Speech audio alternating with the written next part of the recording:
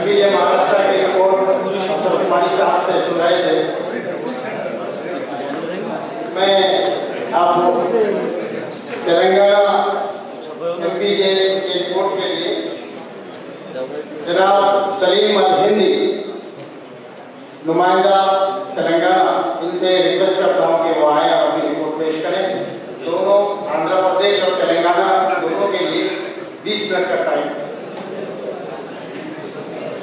मोहतरम नुसरत अली साहब कौमी कायद एपीजे मोहतरम मोहम्मद अहमद साहब कौमी कोऑर्डिनेटर एपीजे जनाब मोहम्मद फिराज साहब सदर एपीजे महाराष्ट्र जनाब अख्तर उस्मानी साहब जनरल सेक्रेटरी एपीजे महाराष्ट्र जनाब वजीरुज्जमान साहब नायब सदर एपीजे आंध्रा मैं Salim Al Hindi general secretary APJ Telangana Andhra Pradesh आप सबको आपकी खिदमत में अस्सलाम वालेकुम वरहमतुल्लाहि वबरकातुहू ये मुख्तसर रिपोर्ट 2015 का 2017 की मियाद पेपर की है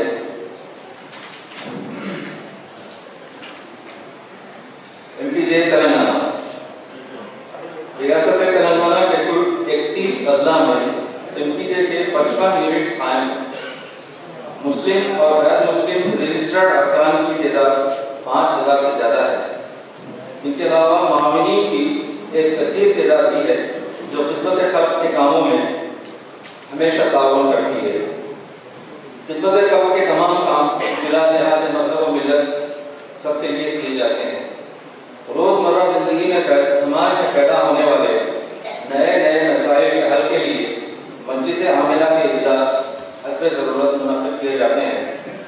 अजला के दौरे अमूमन हफ़्ता या इतवार के दिन मुनद किए जाते हैं। L P J Andhra Pradesh मरकज की हिदायत पर हमने रियासत आंध्र प्रदेश में फरवरी 2017 से तंजीम जदीद का काम शुरू कर दिया है तीन नायब सदूर का इंतखाब हो चुका है। जो सारी रियासत में एमपीजे के बीसर गाँवों का अहाता किए हुए हैं। रियासत आंध्र प्रदेश में न एमपीजे कोई नई तहरीक है, न यहाँ के अहबाब हमारे लिए अजनबी है। हम एक दूसरे के साथ 2005 से 2014 तकरीबन नौ साल, एक साथ काम कर चुके हैं।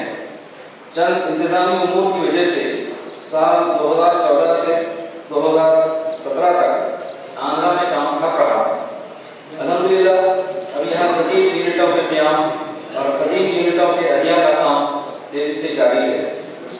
अजला के मुश्तरका दौरों का आगाज़ हो चुका है। इन अजला में तंजीमी तंजीमी नशिस्तों के बाद एम पी जे के तारुफ के लिए अवामी जलसों का भी अहतमाम किया जाता है। ज़िले ओंगोल के मरकापुर इलाके में एक बड़ा अवामी जलसा मुनद किया गया था, जो बहुत कामयाब रहा। ज़िले करनूल के यूनिट्स के दौरों के मौके पर तीन अलग अलग मुकाम पर अवामी जलसों का अहतमाम किया गया था। ज़िले गुंटूर के मुकाम पिडुगोराला में एमपी के आंध्र प्रदेश के तीनों वाइस प्रेसिडेंट्स और इनके अलावा तमाम यूनिट प्रेसिडेंट्स और डिस्ट्रिक्ट ऑर्गेनाइजर्स भी शरीक थे। तारुफी जलसों के मौकों पर मुकामी लोगों में काफ़ी जोशो खरोश देखने को मिला।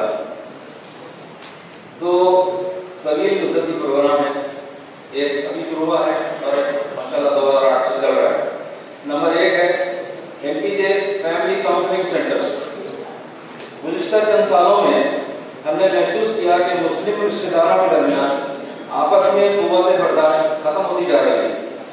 घर का कोई भी फर्द आपस में किसी की मामूली और काबिल नजरअंदाज गलती को माफ़ करने तैयार नहीं।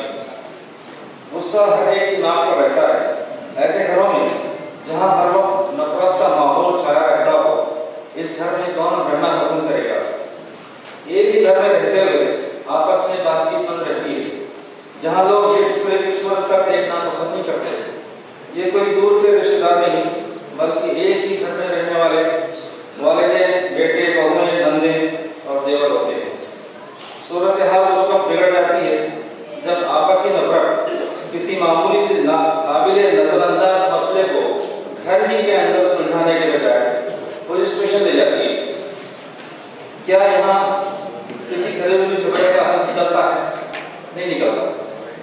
इसके बाद बात यहाँ से निकलकर वकीलों से होकर अदालतों तक पहुँच जाती है। अदालतों में रुपया, पैसा और चार पाँच साल का वक्त बर्बाद करने के बाद भी किसी फैसले का इंतज़ार नाकबले बर्दाश्त हो जाता है। अपनी गलती का एहसास होता है। दिमाग की बीमारी पर आ जाता है। इन तमाम झमेलों से मुसलमानों को दूर रखने के लिए एम ने तमाम यूनिट्स ने फैमिली काउंसलिंग सेंटर कायम करने का फैसला किया।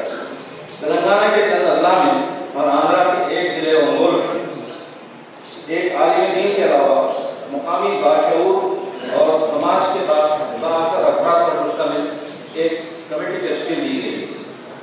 यहाँ पर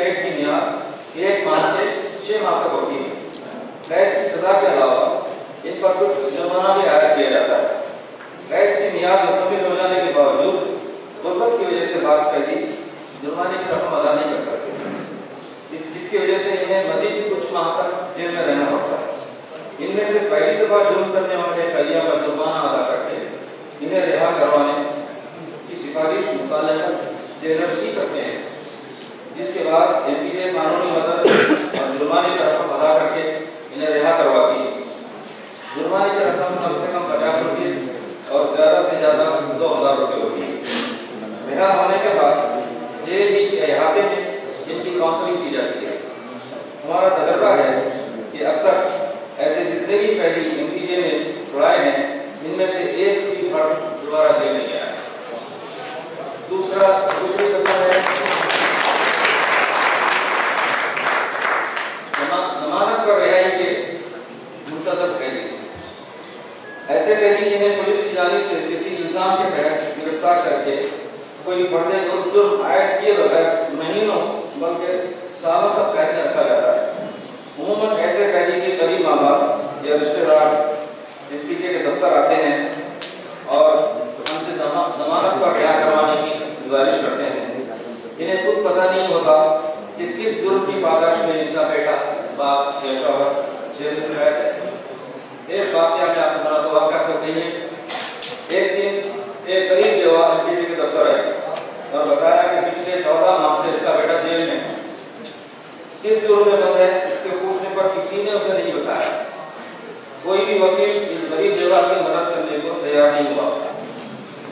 इसी वक्त हमने शंकरवाड़ा जेल के जेलर से बात की और जेल पहुँचे। जेलर से मुलाकात हुई।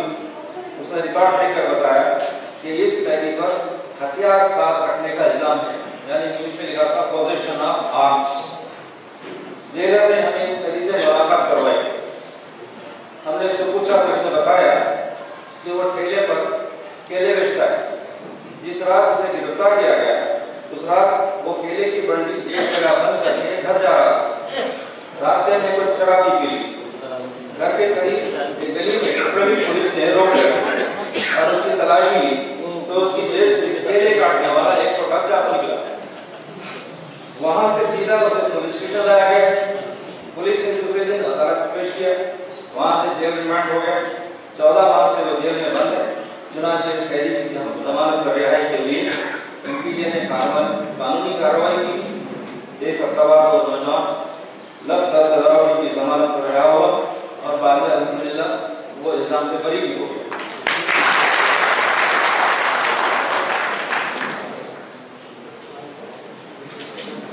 तीसरी किस्म है ये जो अभी हमने काम शुरू किया है। ये उम्र कैद की सजा पाने वाले कैदियों के वालिदैन और उसके बीवी बच्चों की इमदाद सुपरिटेंडेंट ऑफ़ प्रिजन्स रियासत तेलंगाना ने एमपीजे के अफसर को मुलाकात करने की दावत दी बातचीत के दौरान उन्होंने उम्र कैद की सजा पाने वाले कैदियों से मुस्तहक लवाहिकीन की माली इमदाद करने की दरखास्त की और ऐसे ग्यारह कैदियों की एक फहरिस्त हमें हमने इसमें से एक कैदी का दफ़ा किया उसके घर गए उसकी बीवी से मुलाकात हुई। वो अपनी कम से, दो कम से बेटियों और एक बेटे के साथ छोटे से किराए के मकान में रहती थी। उसने बताया कि मुकदमे के दौरान इनका सारा रुपया पैसा खत्म हो गया। जाति मकान था, वो भी बिक गया। मुकदमा भी हार गए। शौहर को तीन साल पहले उम्र की सजा भी हो गई खाते पीते रिश्तेदारों ने साथ छोड़ दिया। गरीब रिश्तेदार को खाने पीने का इंतज़ाम कर देते थे। कोई मुस्तकिल आमदनी नहीं थी। वो एक मामूली तालीम याफ्ता खड़े लोग थी, सिवाय करके दूसरे रोज़मर्रा के काम के और कोई फनी काम नहीं जानती हालात का मुकाबला करने के लिए उसने शादी के कपड़े, सीने वाली एक दुकान पर ट्रेनिंग ली और वहीं पर रोज़ाना गुजरत पर काम करने लगे। बच्चे स्कूल जाने के बजाय शाम में माँ घर आने तक घर में बंद रहते थे पिछले कई माह से मकान का किराया भी नहीं दिया इसी की ख्वाहिश पर एनपीए ने एक heavy duty professional sealing machine खरीद कर दी मकान का बाकी किराया लगा दिया इस मशीन पर अब वो घर पर ही काम करती है अलहमदिल्ला चार माह के अंदर ये छोटा सा माशी तौर पर खुद ब खुद हो गया रियासत की दीगर इस जिम्मन में हम सराहते हैं। इंशाल्लाह ये काम जारी रहेगा। कुछ आम समाजी काम कर सकते शादी मुबारक स्कीम दोनों रियासतों में शादी स्कीम से मुस्तक खानदान फ़ायदा उठा रहे हैं। इस स्कीम के तहत चंद शराइ की तकमील के बाद हुकूमत पचहत्तर हज़ार रुपये शादी के अखराज और ज़रूरी सामान खरीदने के लिए लड़की के अकाउंट में जमा कर देती है। यूनिट से दफातर में ऑनलाइन फॉर्म दाखिल करने से लेकर शादी की मुकर्रा तारीख से पहले चेक के हसूल तक पूरी रहनुमाई की जाती है और ये भी सिलसिला जारी सरकारी तालीमी वजाय तलबा के लिए सरकारी तालीमी वजाय और फ़ीस रियम्बर्समेंट से इस्तेमाल करने के लिए एमपीके के यूनिट से दफातर पर ऑनलाइन फॉर्म दाखिल करने में तलबा की मुकम्मल रहनुमाई की जाती है। मुकामी स्कूलों, मसाजिद और दीगर अवामी मकाम पर पॉम्पलेट्स जारी करके इन स्कीमों पर, इन स्कीमों का लागू करवाया जाता है। दीगर सरकारी वजह रियासती हुकूमत की जानब से ज़यीफ अफराद जिसमानी मामूर अफराद तनहा ज़िंदगी गुजारने वाली खवातीन के अलावा मसाजिद के इमाम और मौलम के लिए दिया जाने वाले महाना वजीफों के उसूल को यकीनी बनाने में एम पी जी के इनकी भरपूर मदद की है। चुनाचे आज बेशुमार अपराध से इस्तेफादा कर रहे हैं। वजीफे की रकम कम से कम एक हज़ार रुपये और ज़्यादा से ज़्यादा पंद्रह सौ रुपये महाना कबूलियत इस्लाम के सदाकतनामे एम पी जी तेलंगाना के दफ्तर में कबूलियत इस्लाम के सदाकतनामों की इजराई का काम बिला मावेदा जारी है। निकाह की सहूलत एपीजे तेलंगाना के दफ्तर हैदराबाद में निकाह के ख्वाहिशमंद मुस्लिम वाले मर्द और खवातीन का निकाह का इंतज़ाम है। रियासती वक्फ की जानिब से मुकर करदा शादी के ज़रिए निकाह अंजाम पाता है। उसी दिन निकाहनामा और मैरिज सर्टिफिकेट की ज़रिए जमा है। इस मैरिज सर्टिफिकेट को जनरल एडमिनिस्ट्रेशन डिपार्टमेंट की तरफ़ से अटेस्ट भी किया जाता है। मेरा वक्त खत्म हो रहा है, जल्दी से जल्दी खत्म हो। तालीम और रोज़गार के मैदान आप पॉइंट तालीम और रोज़गार के मैदान में मुसलमानों के लिए बारह फ़ीसद तहफा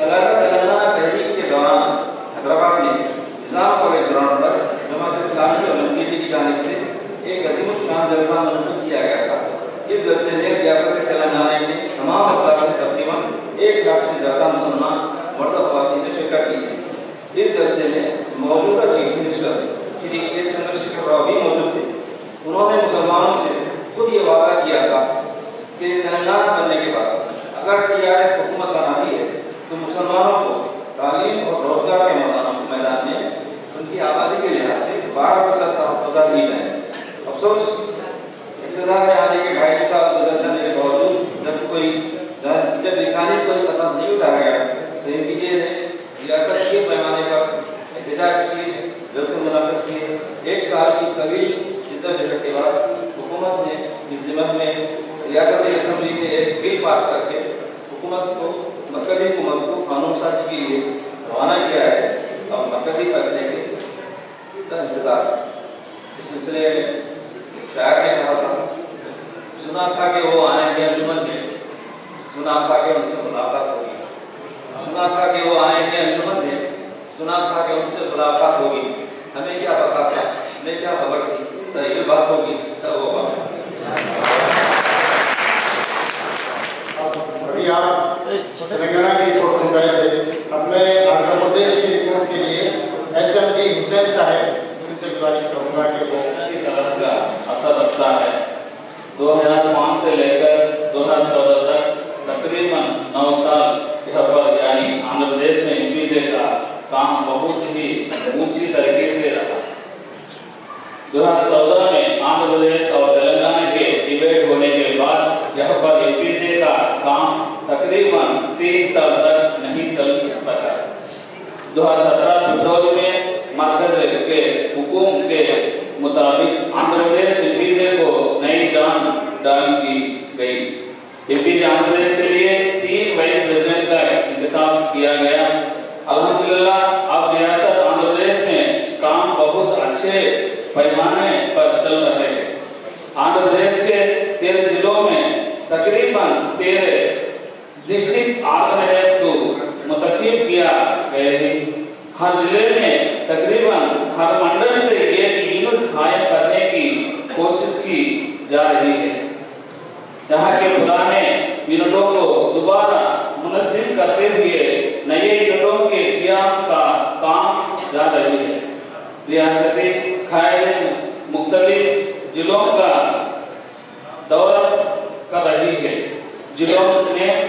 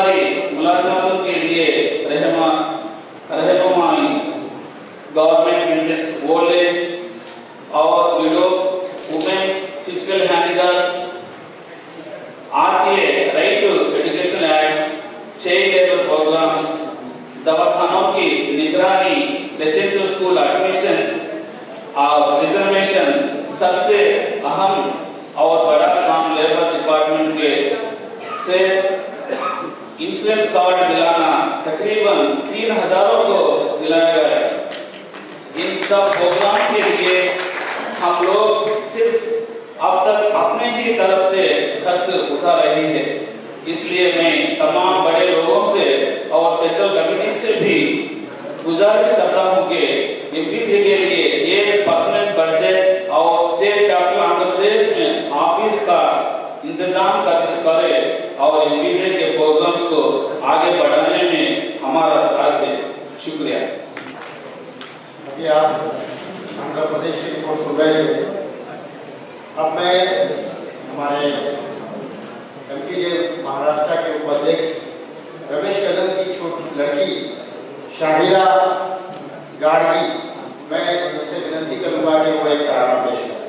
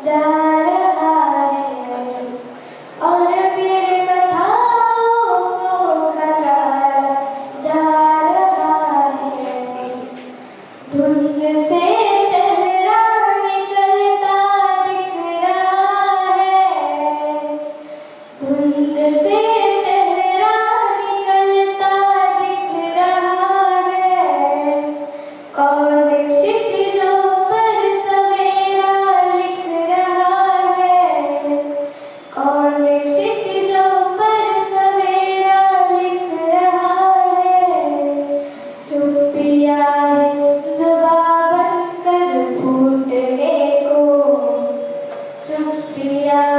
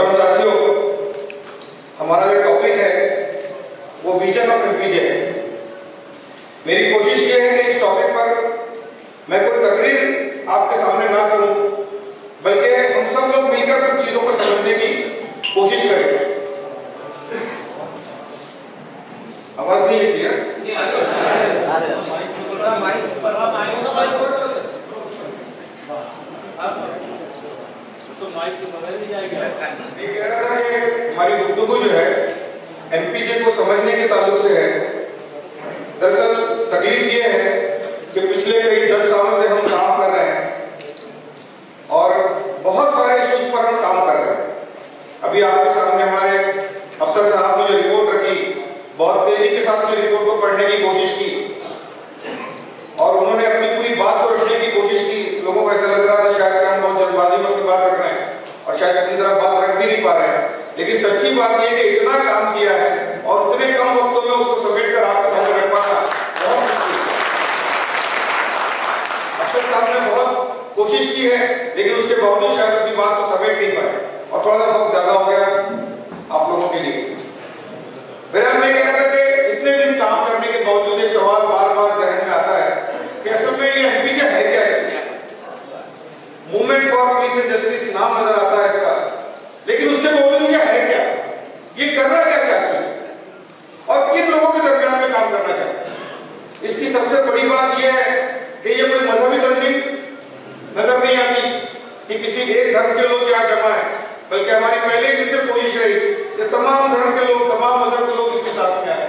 हमने मर्द और औरत की तफरीक को भी कम किया मेजोरिटी कोशिश की कि भाई औरतें बहनें भी हमारी इस में शामिल हो। तो आखिर ऐसा हम क्या करना चाहते हैं?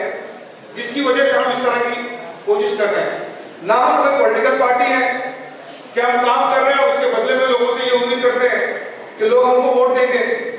वो भी नहीं करते हम। तो आखिर हम करते क्या है?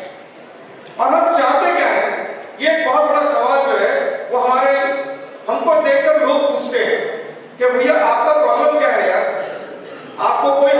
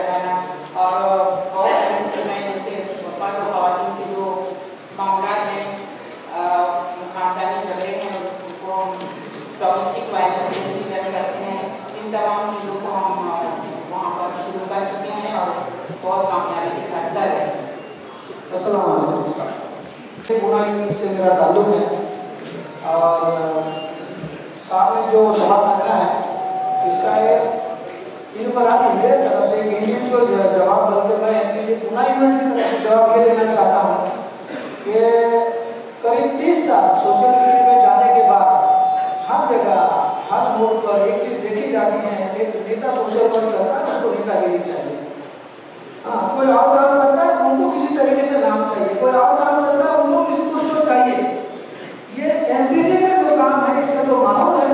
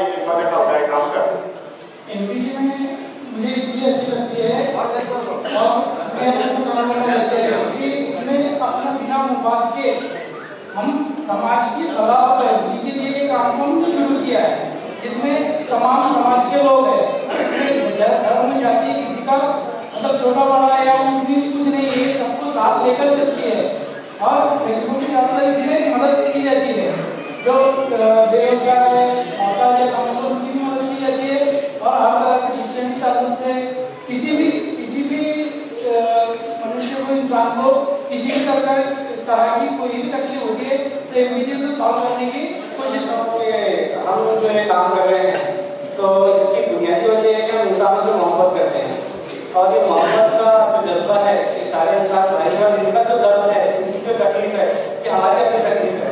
तो मोहब्बत में क्योंकि हम अल्लाह से डरकर उसकी इबादत करते हैं, अल्लाह से मोहब्बत में उसकी इबादत है वही हम देखते हैं कि इंसानों की खिदमत करना उसके मसाइल करना, ये भी जो अपनी इबादत है। और अगर हम इंसानों की मोहब्बत को करें तो ज़्यादा बेहतर होगा और मोहब्बत का जज्बा ये है कि हम जो है हमको जो है वो एक काम करने करने पर आगे बढ़ें गवर्नमेंट की तरफ़ से बहुत सारी योजनाएँ निर्धारित लोगों के लिए की हुई है बाकायदा कानूनन उसका हक है कि इंसान को उसका अधिकार मिले लेकिन हमारे यहाँ की सरकारें और हमारे यहाँ की जो यानी प्रोग्राम्स बनते हैं उसको बराबर इम्प्लीमेंटेशन नहीं होता और रिश्वत के भेंट चढ़ जाती सारी चीज़ें इसलिए एनपीजे एक प्रेशर ग्रुप का काम करती है कि लोगों को उनका हुकूक हम दिलाए हमको ये हमारी जेब से खर्चा नहीं करना है लोगों को हुकूक दिलाने के लिए हमको सिर्फ़ कोशिशें करके उन तक उनके हुकूक पहुंचाना है ये हमारे एनपीजे का एक अहम काम है ये बस मैंने पहली बार पूछा बात बात आगे वाली बात होती ये नहीं भगवान का एनपीसीमध्ये काम करत असताना कोणत्याही एका एका क्षेत्रामध्ये न्याय भेटला पाहिजे असं प्रत्येक क्षेत्र निवडलं त्याच्यावर अन्याय घडला त्या अन्यायासाठी लढण्यासाठी आपण काम करतो मग दवाखाना असो की दुसरी गोष्ट असो की लोकप्रजा असो पुणे प्रत्येक आज क्षेत्र आहे की अन्याय हे होतच जातात मग प्रत्येक अन्यायाला आपल्याला न्याय देण्यासाठी आपण काम करतो मैं सिर्फ़ दो बातें कहूँगा कुरान में हदीस कुदसी है अल्लाह कह रहे अल खल्कु आयातुल्लाह कि सारी मानवता सारी मैनकाइंड सारी ह्यूमैनिटी ये अल्लाह का खानदान है इसलिए अल्लाह के खानदान के लिए कोई भी मज़हब का हो, किसी भी कौम का हो, कोई भी मिलत का उसके लिए काम करना है। अल्लाह के रसूल सल्लल्लाहु फरमा रहे हैं, खैरुन्नास मय्यतुन्नास तुम में सबसे बेहतरीन आदमी वो है, सबसे अच्छा आदमी वो है जो लोगों की भलाई के लिए काम करता हो।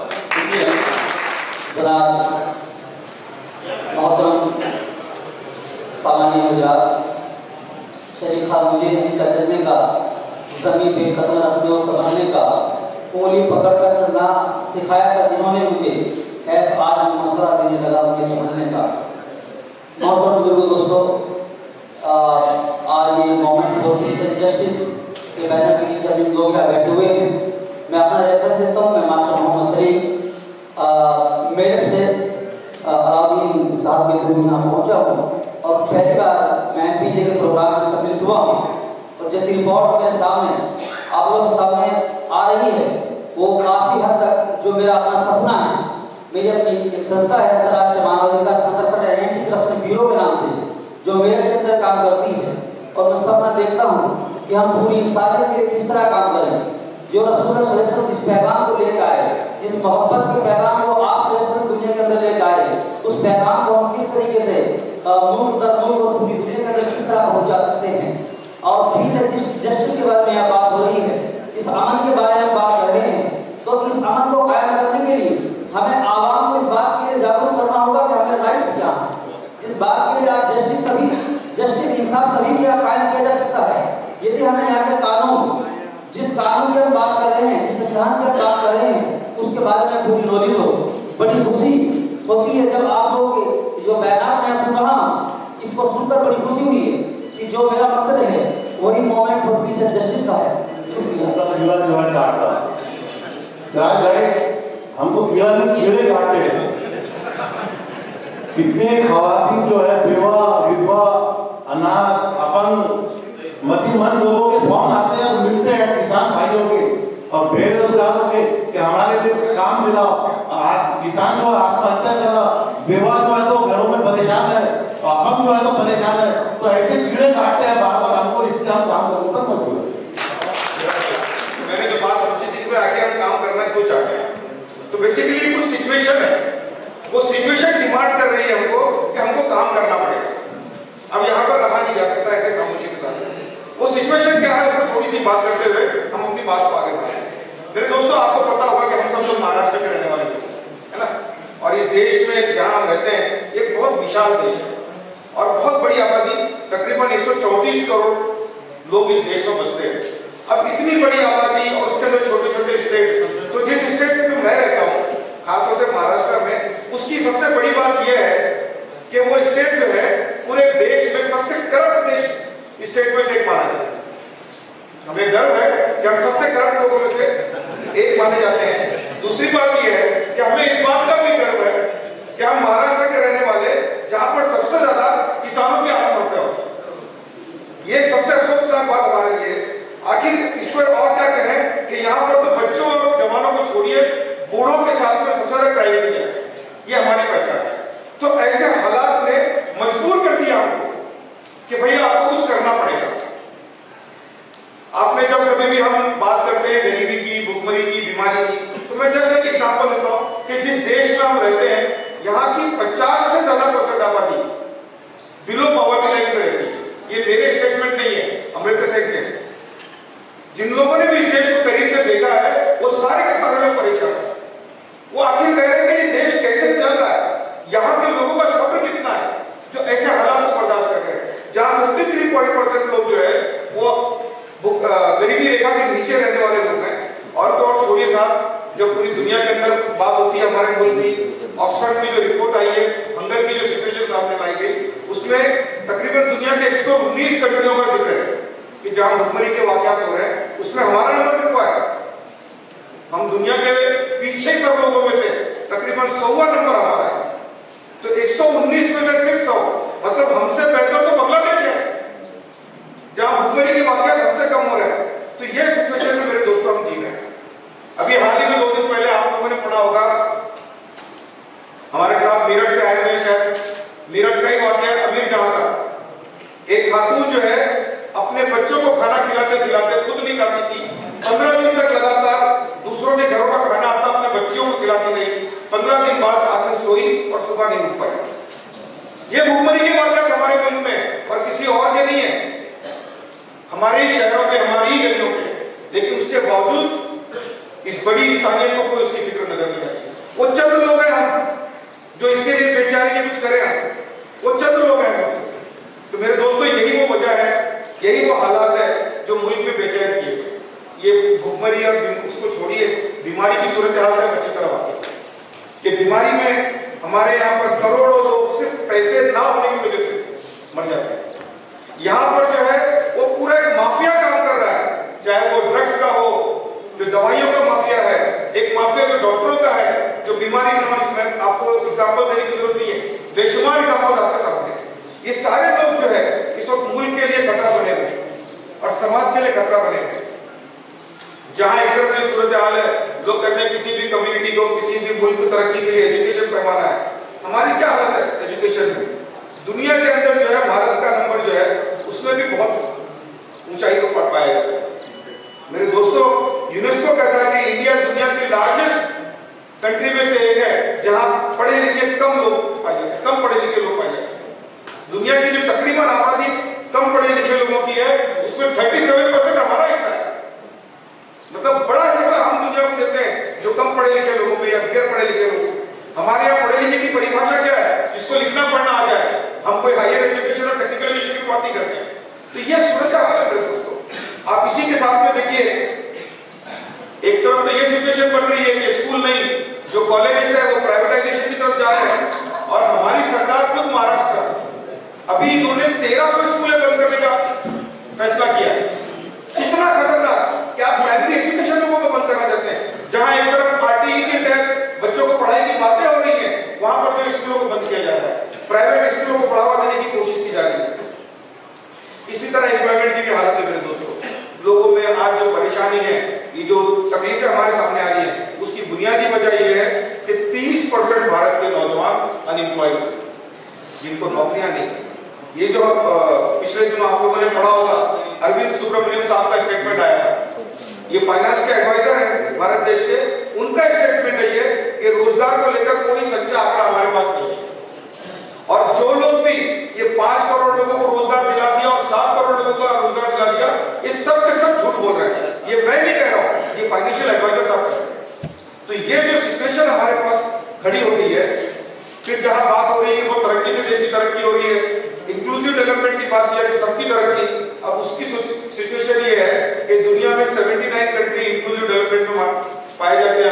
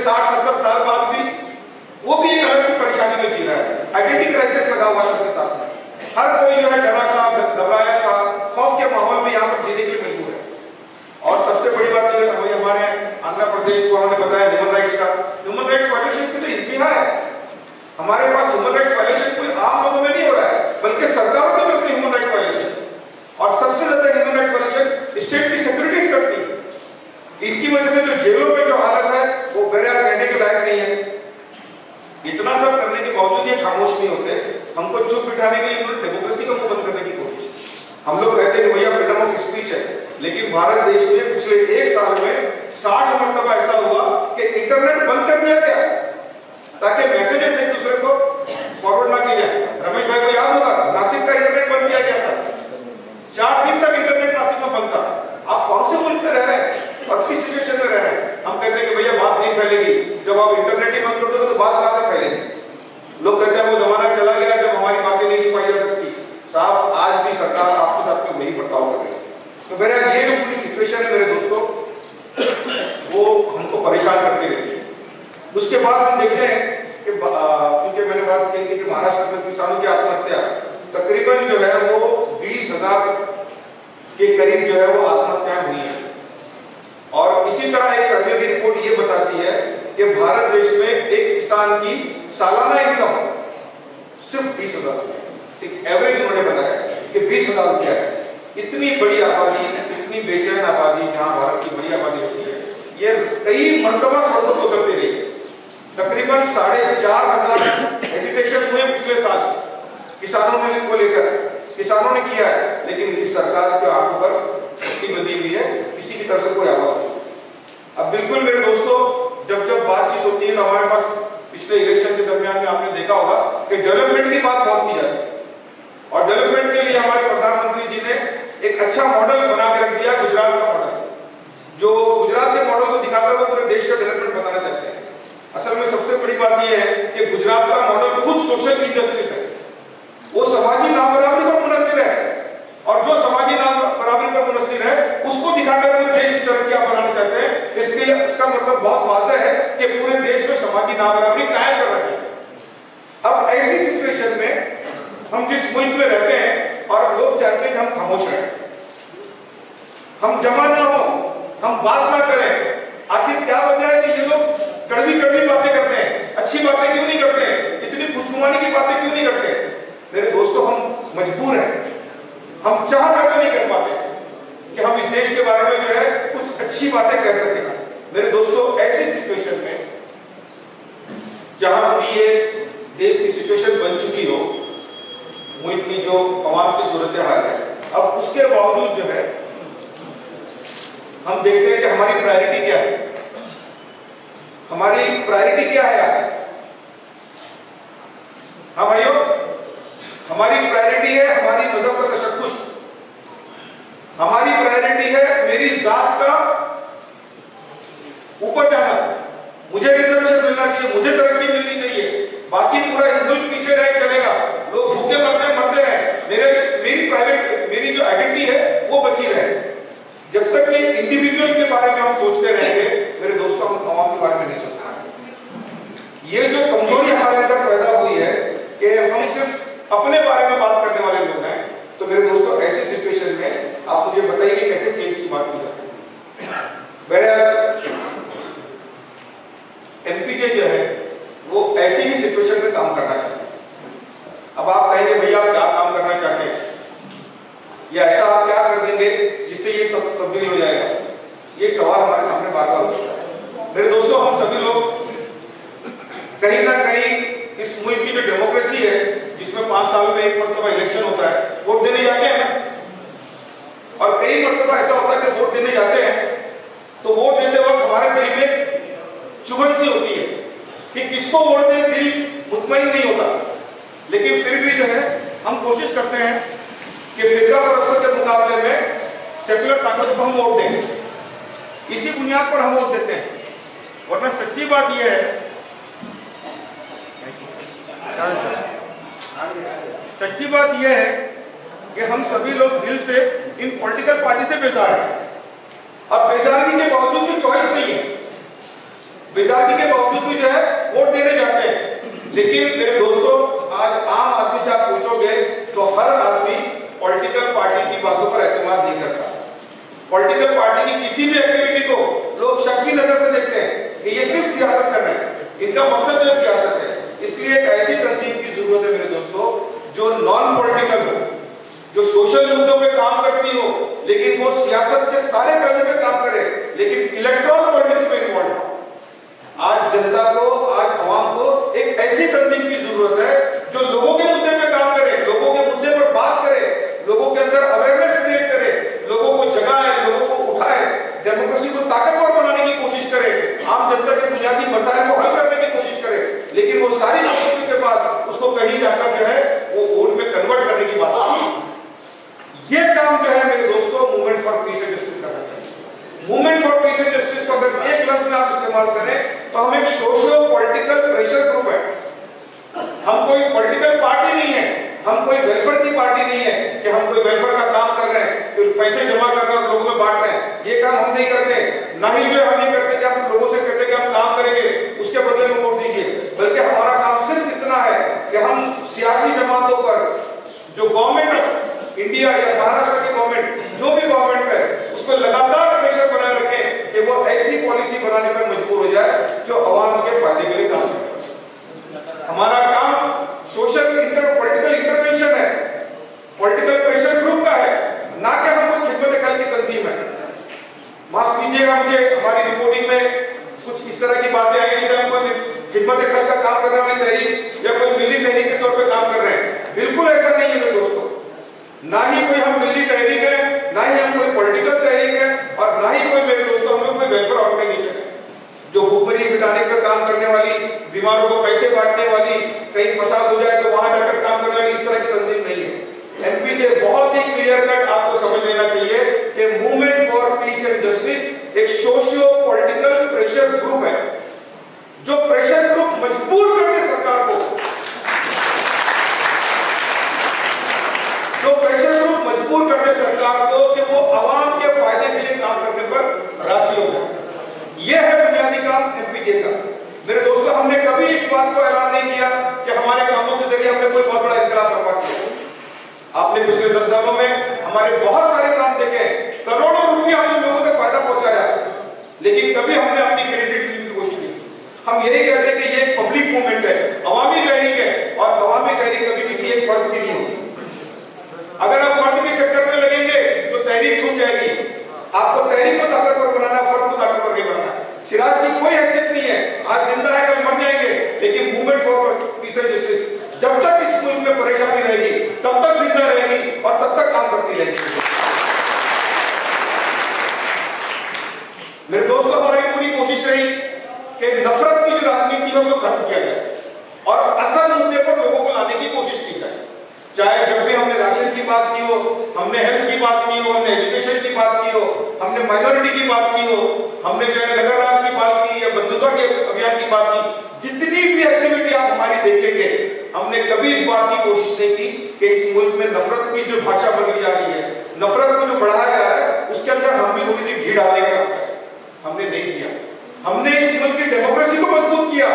आम आदमी को ताकतवर बनाने की कोशिश की। और उसको इतनी ताकत देने की कोशिश की कि वो इतना ताकतवर हो जाए कि सरकार का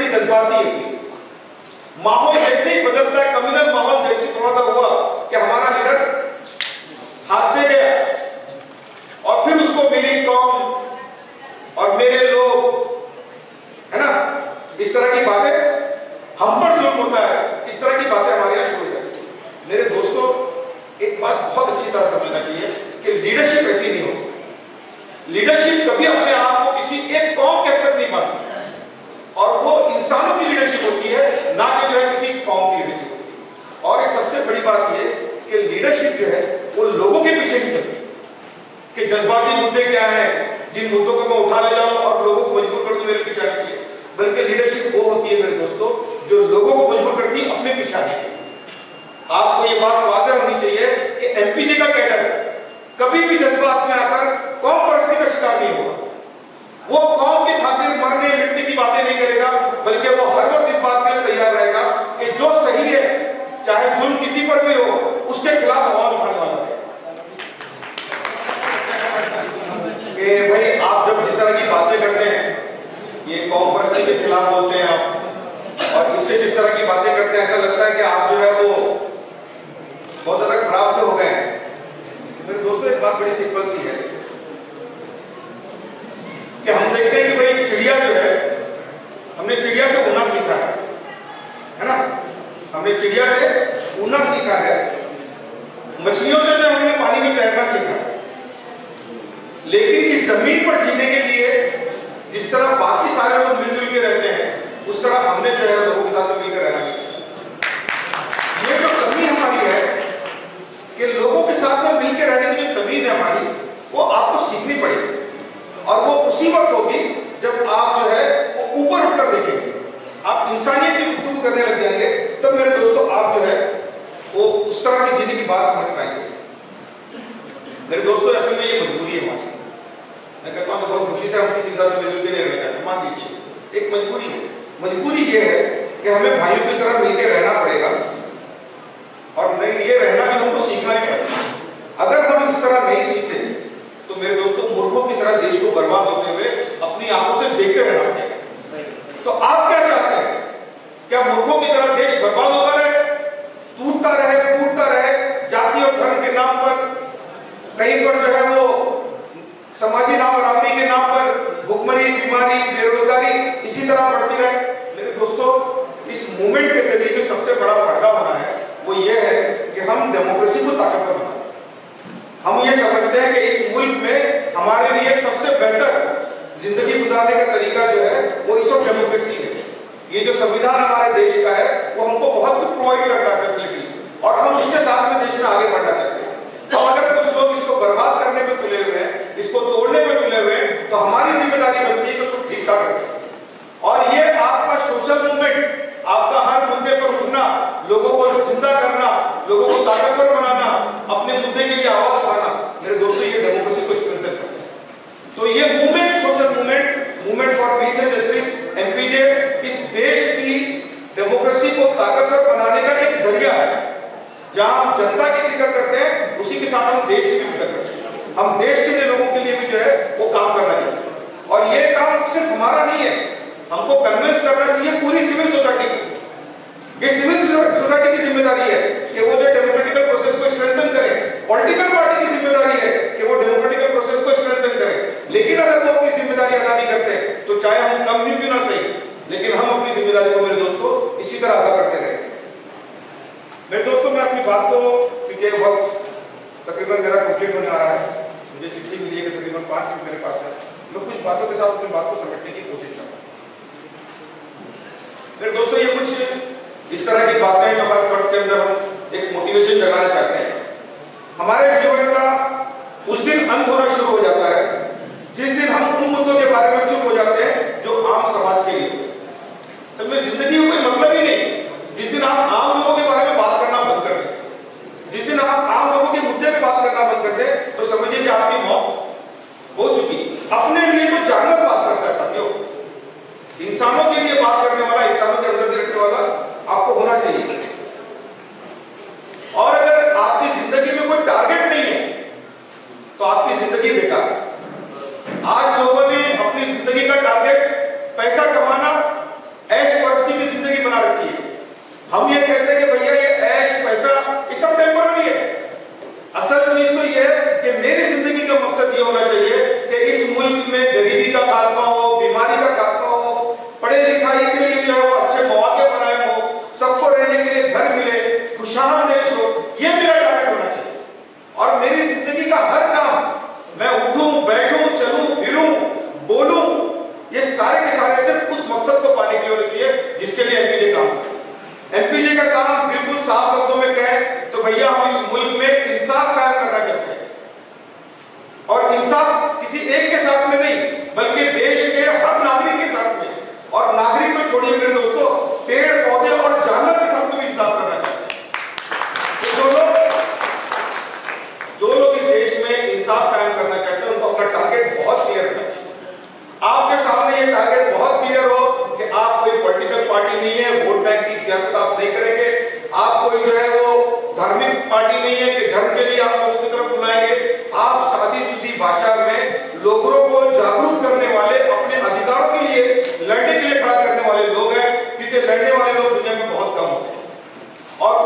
इंसान के लिए खड़ा करना ये बेसिक आपकी ज़िम्मेदारी है असल में ये करने के लिए हम मजबूर सिर्फ़ इसलिए होते हैं कि अगर न्याय बढ़ गया है ना वो क्या कहते हैं उसको इनजस्टिस अगर अन्याय बढ़ गया दुनिया में तो इस देश में रहना मुश्किल हो जाएगा इसके लिए